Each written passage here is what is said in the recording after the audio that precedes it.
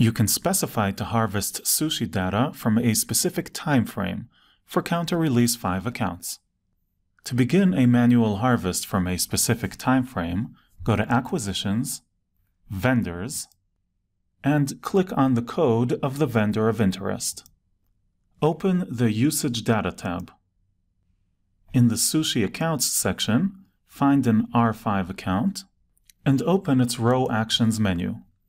In addition to the familiar option of Harvest Now, you also have the option to perform a custom harvest.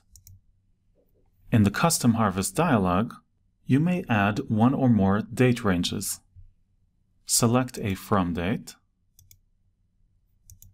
and a to date,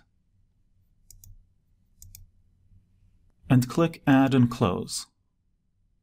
Note that if the selected date range contains months previously uploaded to Alma, these will be overridden.